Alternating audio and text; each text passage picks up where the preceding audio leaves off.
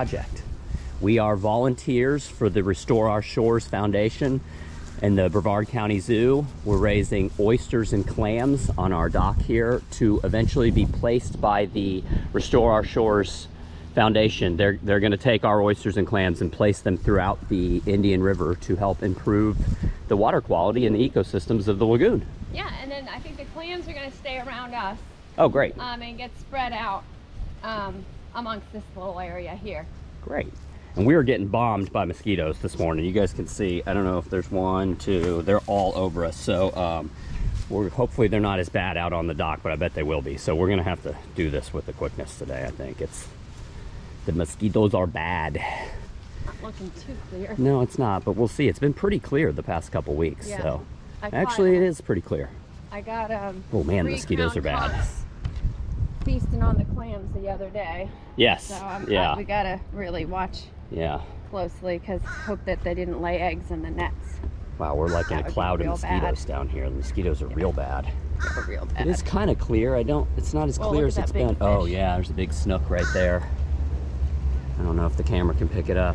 There's another one right Uh, there. Is that a fish right there? Whoa, that's a big one. That's not a fish. That's not a fish. Yeah. yeah. Okay. All right, so we have our oysters in, in the in the baskets here, hanging off the dock, and then the clams are in bags um, in between these four poles right here. I don't know if you're going to be able to see any conchs today. So every other week we sweep these nets off. We're not going to do that this week. Um, we're just going to do a visual. I could see the conchs from here last Yeah. time when I caught. I got three the other day, so. Oh my gosh, look at all the mosquitoes. Look at that. Holy Look cow. at my legs; they're not even on me. Man, they just like me. They love me. All right, um, all right. I'm gonna hand you the camera and let's let's start pulling these traps up. All right, sounds good. Mosquitoes are bad. We're gonna start up front, up here. Yeah, sure. Get the gloves on so we get all cut up. And keep the camera on while we pull these up because sometimes there's interesting stuff that's on them that's I hanging don't out. see anything on on this Yeah, I don't one. see anything on there. This one either. almost looks like it's like just an inch from the ground. Yeah, it probably is. Oh, you can see him squirting. See him? See him all oh, squirting? Oh yeah, look at that. Oh, that's so cool. We'll have to show that more clearly with the the next batch. See if we got any predators in here. You got anything? I don't Nothing. really see Great. anything. I'm gonna get. I can get the squirting after this. Whoa! Uh oh. Oh, this cage just broke. We'll have to fix that. That just broke.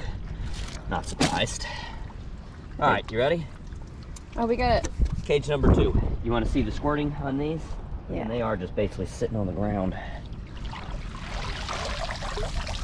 See them shooting. So cool. Yeah, it is cool. This is the first week we've noticed that. Yeah.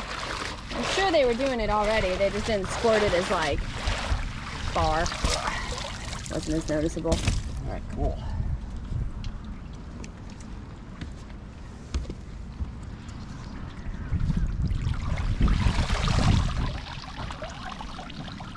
Oh, oh there's a- something in yeah, there. It looks like a little baby sheep's head. Yep, it is. Did it come out? Not no. yet. Let's see if we can get it out. Doing this. He's like, oh no, busted.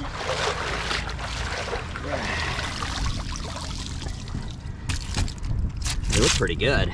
Yeah, they do. All right. I don't see him anymore. Yeah, hopefully he came out.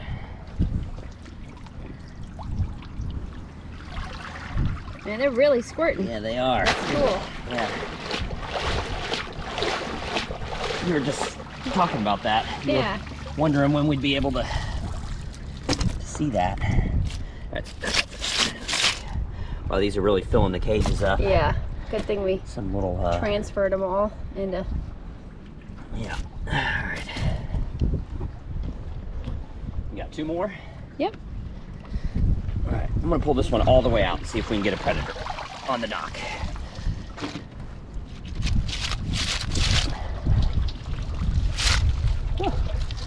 pretty good. We haven't had a lot of predators in these the past couple weeks. No, I, but I did find those crown conchs on the clams.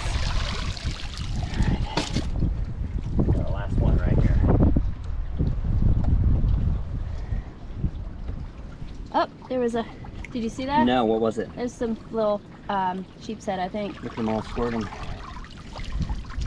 They're like little fountains. They are, it's cool. Anything? Oh, There's, there's, a little sheep's head. You got a little little predator right there. baby. Let's, let's go ahead and let him go. No, you're not going down the crack. That happened last week, and it took me like five minutes to get. Got him. Nope. Here, I got no gloves. Yeah, there you go.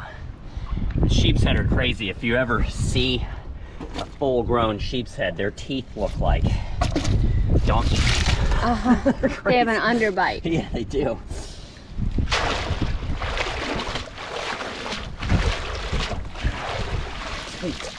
They're looking good. Yeah, they are.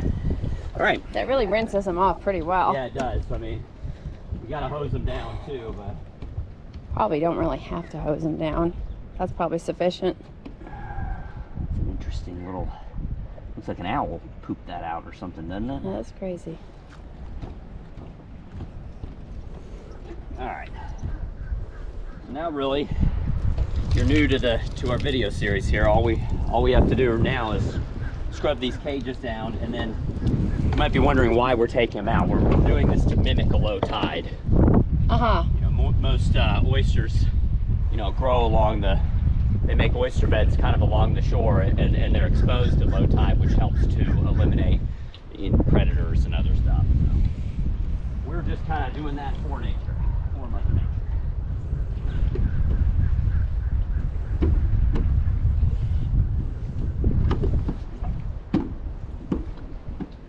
Alright. Should get some water flowing now. Oh. Nope. Hose just likes me.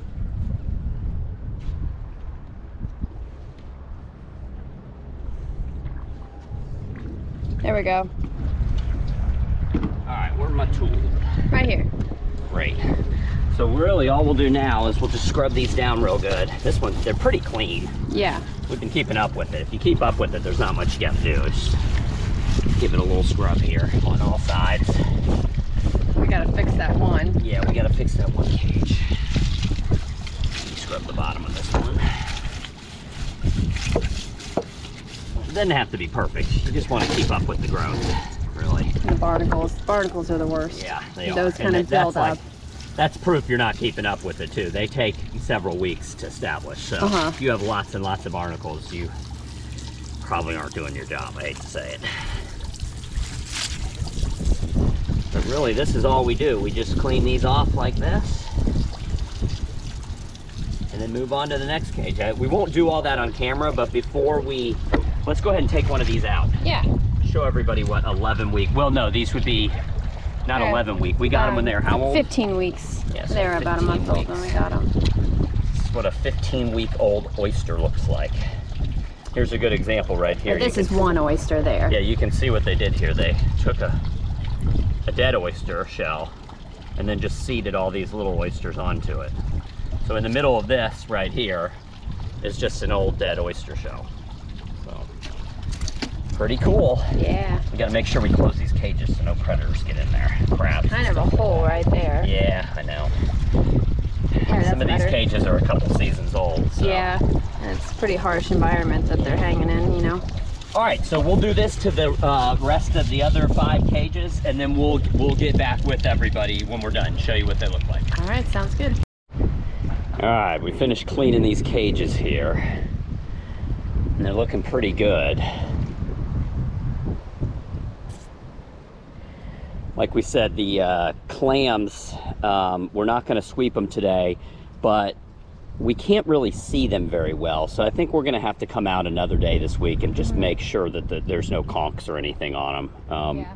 Two days ago, I got conchs off of them. Yeah, you got a couple, didn't you? three, Yeah. yeah. So um, we're, we're probably gonna have to come back when the water clarity's better and check on those. But uh, the oysters are done for the week.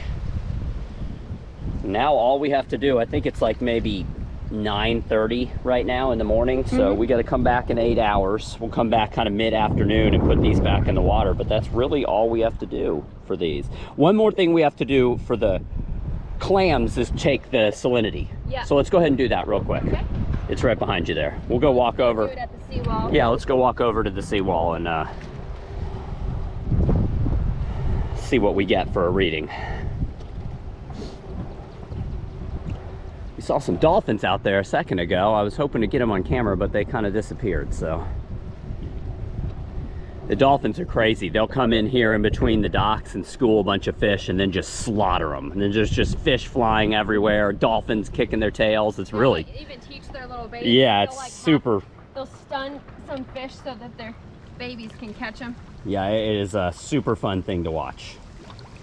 So, all right, what do and we if you got? think dolphins are gentle Yeah. and Oh, sweet, man. oh man, if you see them fishing, They're like mini orcas. yeah. They're smaller and they're going after smaller prey, but they look like orcas to me when they're hunting. They're so fast. They're like killing machines.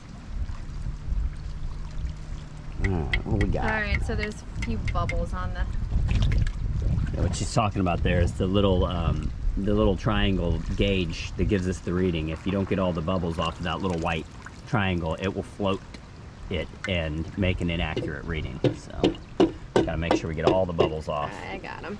All right, what we got? Oh, look at that. Whoa! 35. Yeah, So that's our lowest reading yet. Yeah. Salinity, right? 35. Last week was like around 38, and the week before was about 37. 30, yeah, 36 or 37. Uh, so 35 today. We just got rain, so I'm I'm guessing that that's probably what Could be. reduced the salinity because um, we hadn't had rain for a while, and the week the week we got the high reading was real dry. Yeah. So, um, you know. And like we talked about, idea. tides might have something to do with it too. Yep, tides. Um, I'm not sure what. I think we're approaching high tide right now. So But I'm sure the rain has a lot to do with it because, you know, we have a lot of runoff from the homes and the roads and everything else. So a lot of fresh water does get um, get into the lagoon when Yeah. it rains. All right, so now we'll take that reading and we'll upload it to their website. Yep. And um, there's volunteers like us all up and down the lagoon or the river that that'll do the same thing, and then they, it'll give them a, a, a nice picture of what's going on. Yeah. um, overall. So. Yeah. All right, y'all. Well, today was an uneventful day with the oysters and clams. That's a good thing. They're all alive and doing well. That's what we want. So. If you have any questions or comments about the Restore Our Shores, Shores program, you can visit their website at restoreourshores.org or you're welcome to post down below. We'll be happy to try and answer your questions. Until and we, we do a video like this every week, so you can check back next week. And uh, next week we'll probably get in the water with the clams too. Yeah. If you look at, I, I think it was either last week's video or the video before. Annalisa got some just riveting footage of the clams underwater. I mean, you've got to you got to look that video up. It was just amazing. The day I found the conchs, I should have taken some video because it was crystal clear. Yeah. But, No, the footage you got wasn't bad though. yeah, I know, but the other day it was killer when I got those conchs. Um, yeah. All right, all right, y'all. Well, uh, like I said, if you have any questions or comments, post down below. Until next time, everybody out there, take care. Bye.